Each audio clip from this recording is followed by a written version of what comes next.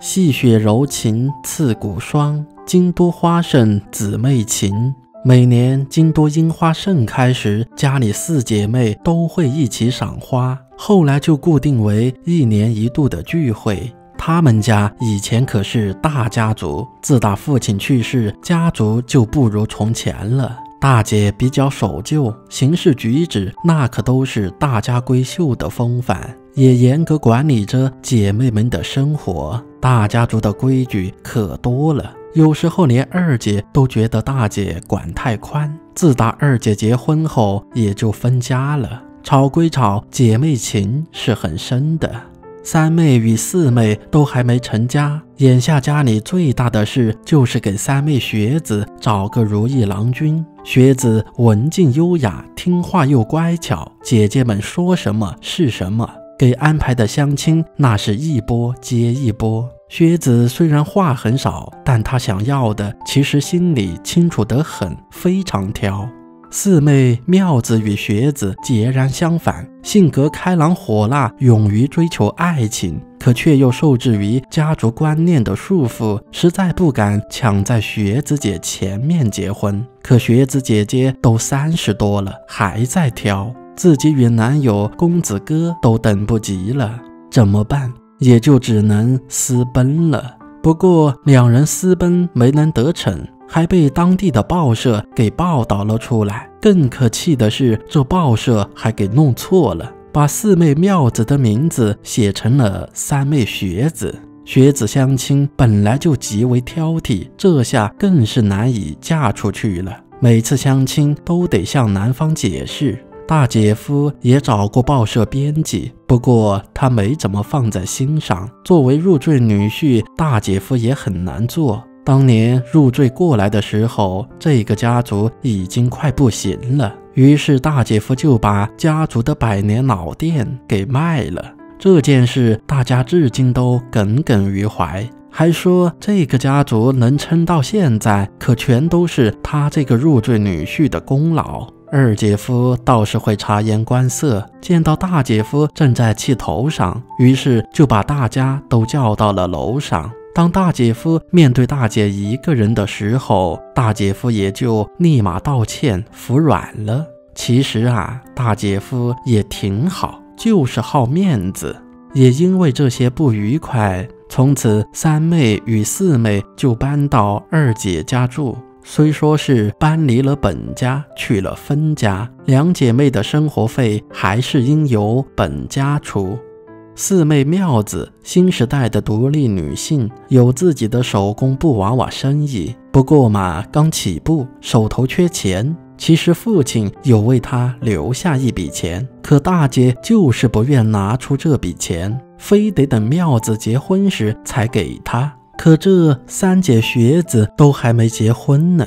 男友公子哥倒是积极，直接跑到二姐这里来提亲。这个公子哥可是游手好闲，非常败家，经济上早就已经入不敷出，现在就连买包烟都缺钱。自打上次与妙子私奔后回来，妙子对他的感情早就淡了。妙子现在喜欢上了摄影师，这段时间两人都在为布娃娃拍展览照。摄影师虽然家境不好，但踏实肯干，言语之间总是彬彬有礼。可姐姐们却说，摄影师出身太低。公子哥怎么说也是大家族出身，妙子又怎么可能被家族所裹挟呢？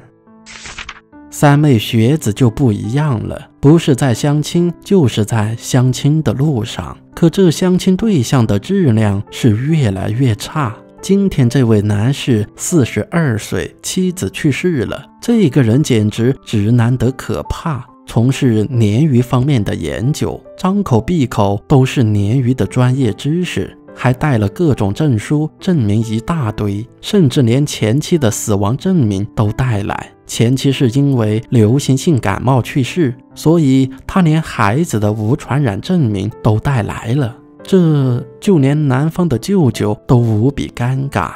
学子小姐的相亲怎么样了？哎，姐姐说，要是嫁给那样的男人，在家的地位怕是还没鲶鱼高。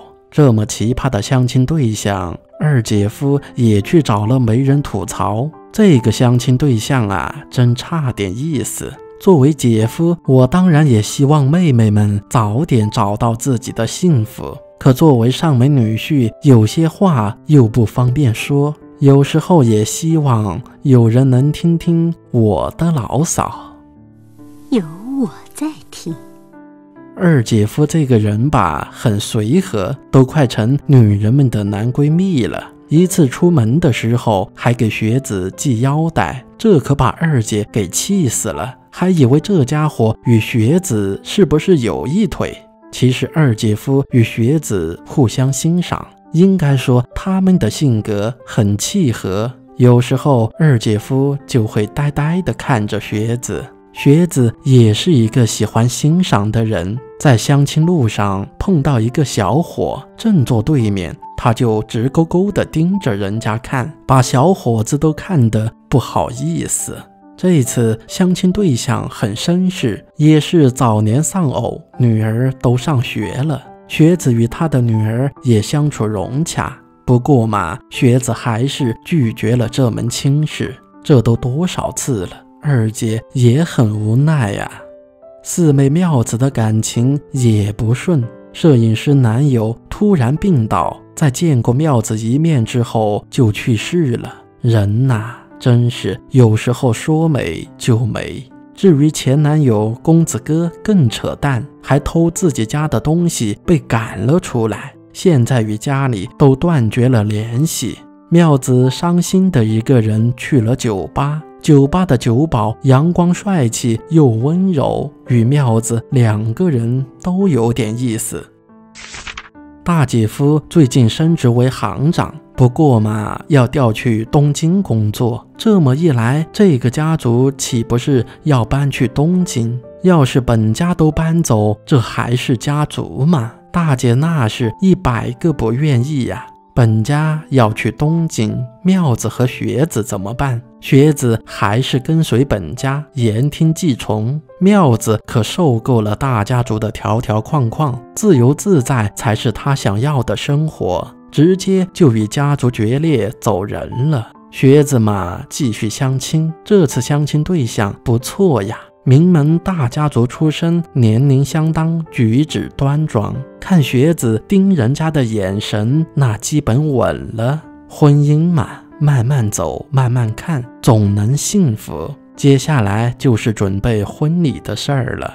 某一天，公子哥与二姐夫单独会面。公子哥已经彻底废了。他说自己变成这样都是因为妙子，还说以前在妙子身上花了很多钱。现在的公子哥也不藏着掖着，直接威胁二姐夫，就是要钱，不给的话就把他与妙子私奔之事公之于众。二姐夫倒也爽快，拿钱消灾。为了四妹妙子的名声，这点钱算什么？当姐夫的自然要护着妹妹，这点做的倒是比大姐夫强不少。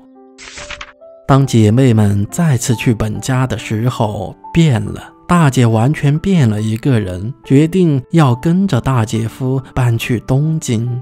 其实啊，你姐夫也挺不容易的。有时候啊，我确实太过于守旧，太过于留念以前的家族往事，不知不觉中都快成了老古董。也应该多替你姐夫想一想，也应该去看看外面的世界。大姐要搬走了，学子的婚事就托付给二姐了。听学子说起这个男人，就滔滔不绝。看来这个男人啊，是入学子眼了。二姐也去镇上找到了妙子，现在她与九宝已经同居。九宝是个踏实稳重的人，我觉得他就是我的幸福。以前的公子哥、摄影师，我与他们在一起，多少是有点想引起姐姐们的注意。以前我总认为姐姐们只关心学子，还有啊，父亲给我留下的那笔钱，现在我也不打算要了。因为九保他不喜欢，我们要靠自己的双手创造未来。大姐一家要去东京，明早就出发。二姐直说就不去车站送别了，姐妹们几个到时候哭出来，多难为情。别了，妹妹们，别了，大阪，抱歉，今年咱们不能一起赏花了。你们有空也记得来东京玩。还有啊，雪子的婚事就交给你们了。大姐走后，二姐好像越来越像大姐，慢慢的也成了家里管事的。四妹与九保在一起，也少了棱角与泼辣。倒是多了几分柔情与乖巧，还真有点学子的样子。转眼间，学子也要出嫁了。这个男人很好，很爱她，她也很喜欢。两人结婚一定是非常幸福的，最好是像二姐与二姐夫那样的幸福。谁也没想到啊，学子嫁人，这最伤心的人居然是二姐夫。